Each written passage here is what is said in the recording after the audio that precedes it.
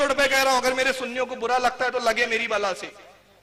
وہ جاہل سنی جو ڈھول بجاتے ہیں، وہ سنیت نہیں ہے۔ ہمارا عقیدہ ہماری کتابوں میں ہے۔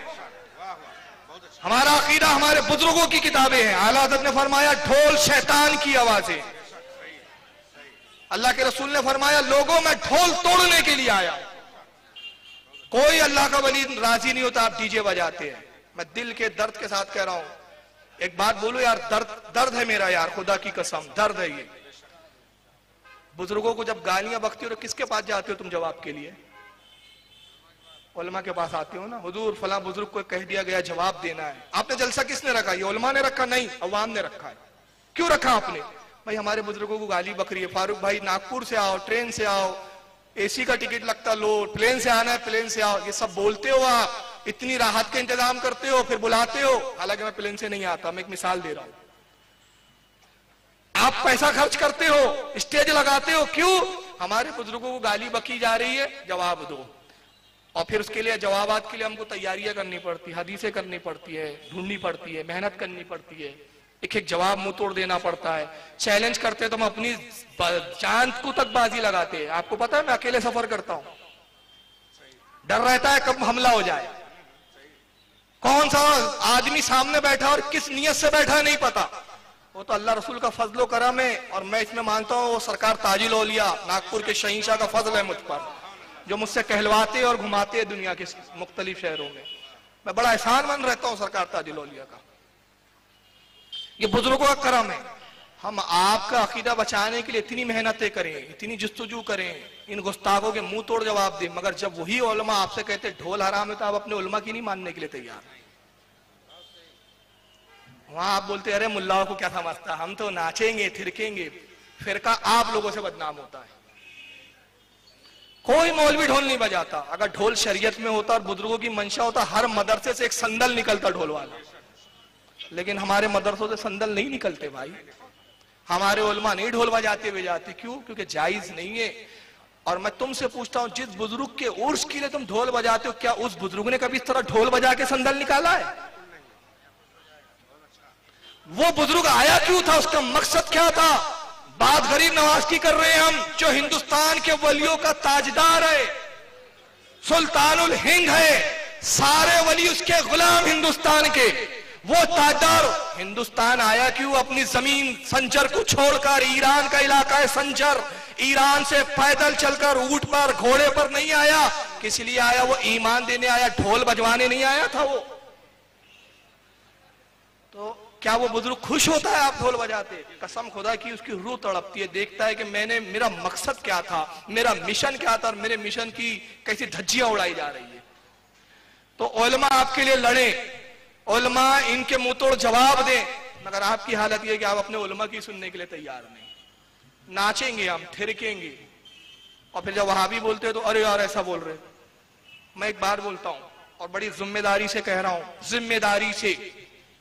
مجھے ایک ایسا وہاں بھی دکھاؤ۔ میں نے کئی بڑے بڑے جلسوں، اس سے بڑے بڑے جلسوں میں خطاب کیا اور میں نے بولا جملے۔ اور آج تک وہ میرا جواب، لاجواب نہیں ہوا۔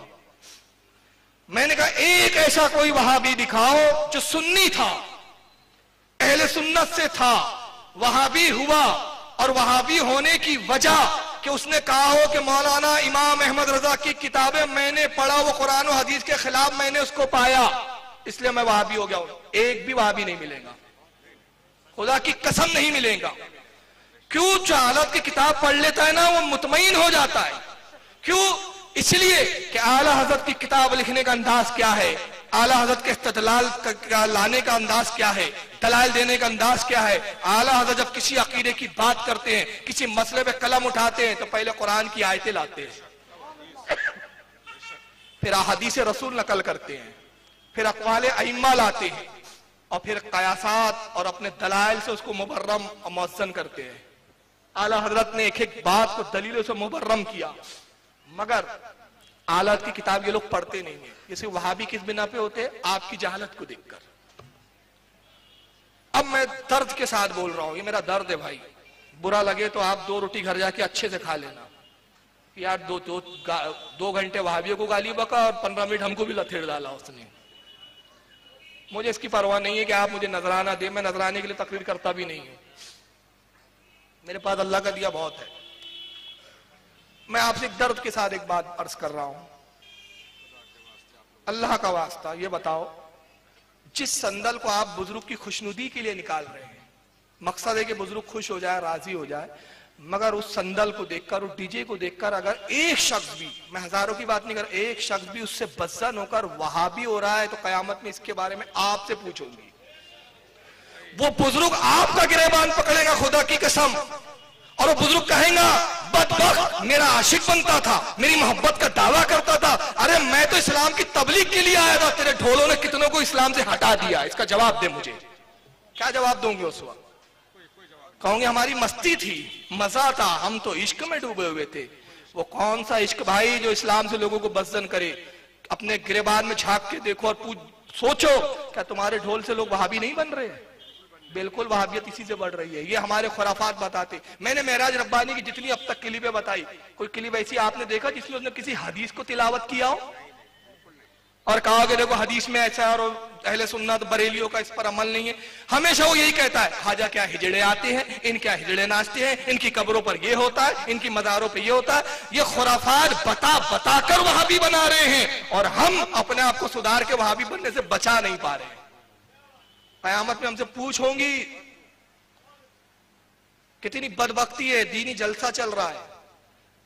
اور دینی جلسے کی اہمیت کیا ہوتی ہے میں بخاری شریف کی حدیث کھولو، اللہ کے رسول فرماتے ہیں، کچھ رحمت کے فرشتے ہیں، نیک مجلسوں کو ڈھونڈتے ہیں، جہاں اللہ رسول کا ذکر ہوتا ہے، اس مجلس کو اپنے پروں سے ڈھانپ لیتے ہیں۔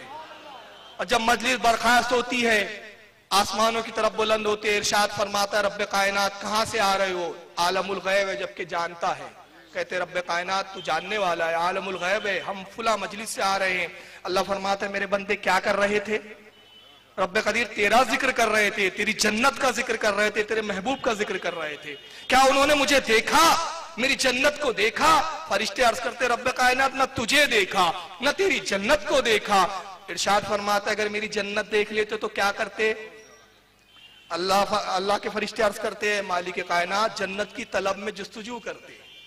میرا دیدار کرتے تو کیا کرتے؟ رب کائنات جب تجھے دیکھ لیتے تو دنیا اور مافیا کو فراموش کر دیتے، سب بھول جاتے، تیری تجھے راضی کرنے میں لگ جاتے۔ اللہ فرماتا ہے، اتنی محبت کے ساتھ میرا، میری جنت کا، میرے محبوب کا ذکر کر رہے تھے۔ فرشتوں گواہ ہو جاؤ، میں نے تمام اہل مجلس کو بخش دیا۔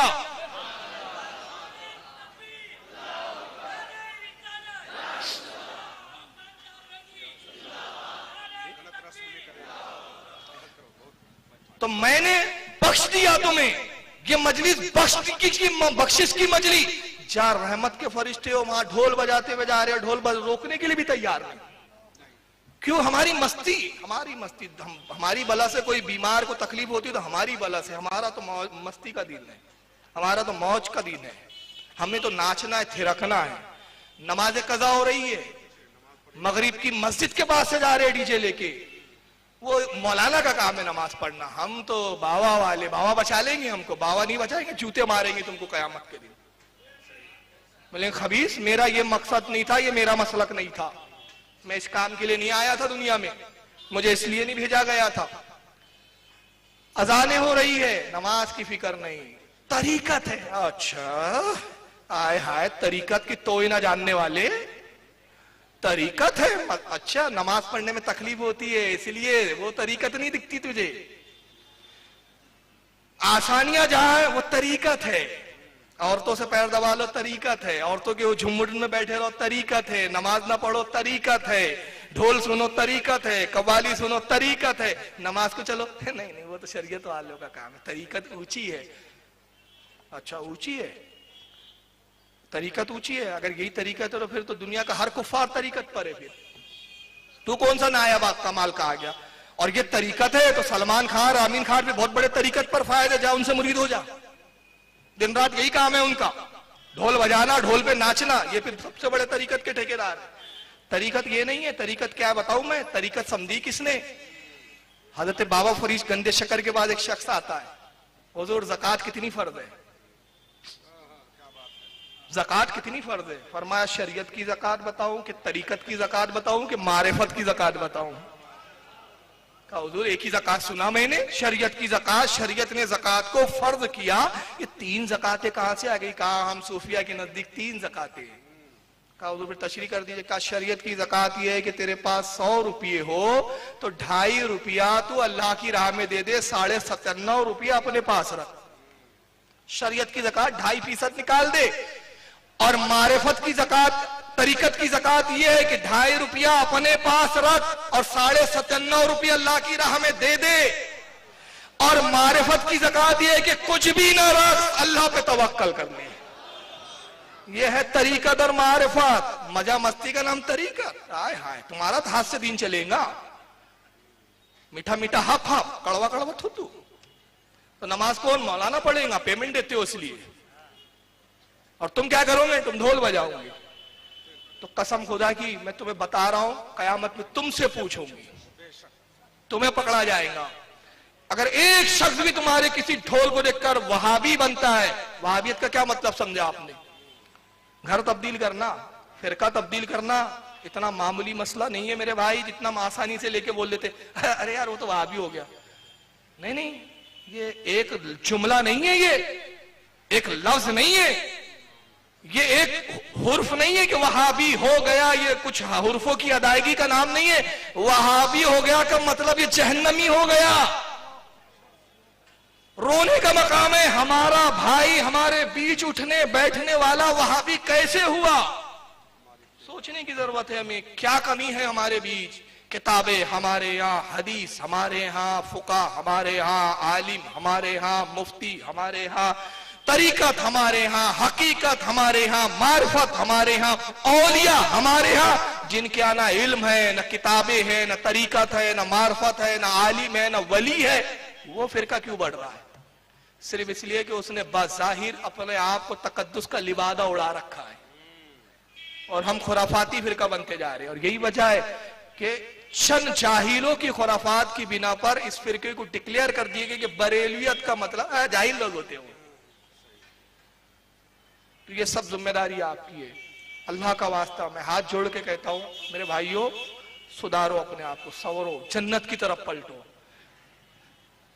اعلیٰ حضرت نے فرمایا، من شکا فی کفر ہی وزاب ہی فقط کفر۔